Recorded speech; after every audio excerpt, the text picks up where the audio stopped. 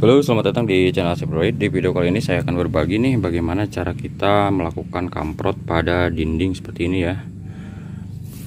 Nah seperti ini.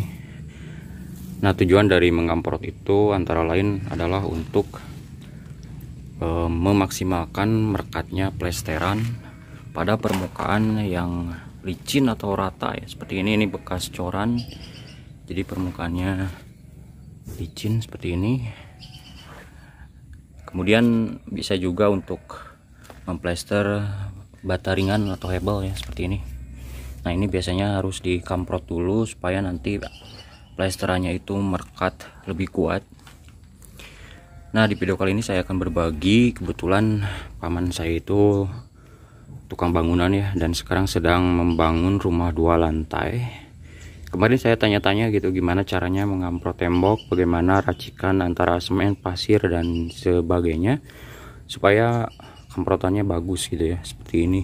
Ini sudah saya coba dan ini sudah keras. Ini padahal baru satu hari ya. Saya kamprot kemarin jadi rencananya ini saya akan saya plester. Dan karena plesterannya tebal jadi harus dikamprot dulu seperti ini biar nantinya kuat Baik di sini saya akan meracik untuk skala kecil ya. E, saya akan meraciknya di dalam ember ini. Jadi alat dan bahan yang harus disediakan adalah ini sendok tembok ya seperti biasa dan untuk bahannya sendiri harus pakai pasir yang halus ya. Seperti ini jadi ini pasir sudah diayak dulu dengan ayakan khusus atau dengan ayakan lain lah. Penting kerikilnya itu dibuang. Jadi pertama-tama kita masukkan dulu pasirnya ini saya contohkan uh, untuk 3 sendok ya. Ya 3 sendok tambahin sedikit tadi kurang. Ya jadi untuk perbandingannya sendiri itu 3 pasir dan satu semen ya.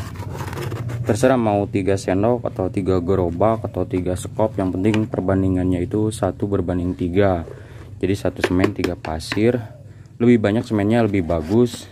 Cuma nanti ya lebih boros gitu aja ya. Jadi pertama-tama kita racik dulu ini. Aduk-aduk sampai rata.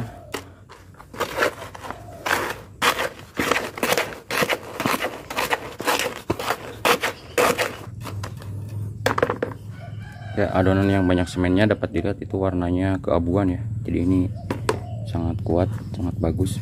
Terakhir kita tambahkan air ya nah ini jangan terlalu banyak karena adukan itu tidak memerlukan banyak air jadi harus sedikit-sedikit dulu. Seperti ini diaduk-aduk dulu kemudian kita tambahkan lagi. Nah untuk plesteran tembok kita cukup eh, menggunakan kekentalan seperti ini ya untuk adukannya. Tapi untuk ngamprot itu berbeda ya kentalannya jadi ini harus sedikit encer. Ini. Ya dikira-kira saja yang penting ini tidak terlalu encer juga. Kalau misalnya keenceran bisa ditambahkan pasir dan semen dengan perbandingan seperti tadi ya. Ya. Segini sudah cukup. Ini enak sekali untuk pakai ngamprot Baik sebelum dindingnya dikamprot ini pastikan sudah bersih ya. Kalau misalnya terlalu kering ini boleh disiram dulu dengan sedikit air Supaya nanti adukannya tidak uh, apa cepat kering gitu ya. Supaya lebih merekat bagus. Nah jadi ini untuk kamprot tembok itu sebenarnya tidak perlu banyak-banyak ya. Jadi kita kamprotkan sedikit-sedikit dengan sedikit tenaga tentunya ya Biar nantinya tidak rontok Nah setelah beberapa kali nyemprot kita harus sering mengaduk-aduknya ya supaya nantinya adonannya tercampur lebih baik lagi gitu.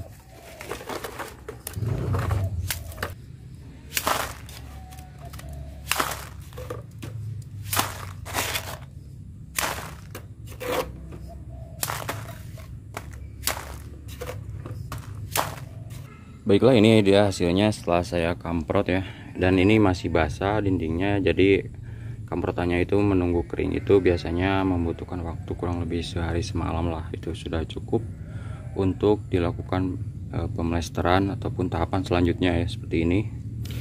Jadi ini harus di menunggu kering dulu sebelum di plaster gitu. Baik cukup mudah bukan?